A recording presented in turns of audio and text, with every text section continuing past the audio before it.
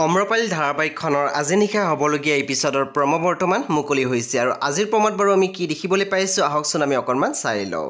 আজিৰ প্ৰমৰ প্ৰথম ভাগতে আমি দেখিবলৈ পাইছোঁ অম্ৰপালিৰ দেউতাকে অম্ৰপালিৰ মাকৰ আগত কৈ আছে মুঠতে ধৰি বান্ধি হ'লেও অমুক মই পদ্ম নামলৈ বিয়া দিমেই আৰু এইখিনি কথা অম্ৰপালিহঁতৰ বন কৰা ছোৱালীজনীয়ে শুনিছিলে।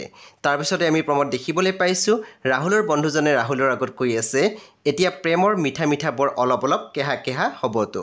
তাৰপিছত একে প্ৰেম তিতা হৈ যাব তাৰপিছতে আমি প্ৰমত দেখিবলৈ পাইছোঁ বন কৰা ছোৱালীজনীয়ে অম্ৰপালিক কৈ আছে প্ৰয়োজন হ'লে তুমি ইয়াৰ পৰা গুচি যাবা।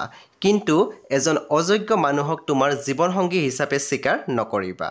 চ' বন্ধু বান্ধৱীসকল আজি সন্ধিয়া সাত বজাত আৰু নিশা দহ বজাত আহিবলগীয়া অম্ৰপালি ধাৰাবাহিকখন খুবেই বেছি ইণ্টাৰেষ্টিং হ'বলৈ গৈ আছে চ' আপোনালোকে চাবলৈ একেবাৰে নাপাহৰিব। পৰৱৰ্তী আপডেটৰ বাবে আপোনালোকে আমাৰ চেনেলটো ছাবস্ক্ৰাইব কৰি কাষত থকা বেল একেণ্ডো টিপি দিবলৈ নাপাহৰিব।